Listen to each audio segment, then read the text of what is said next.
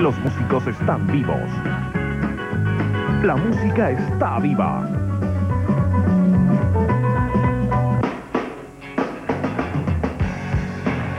La música se vive y se hace. En la sala SSD está la Sociedad de los Músicos Vivos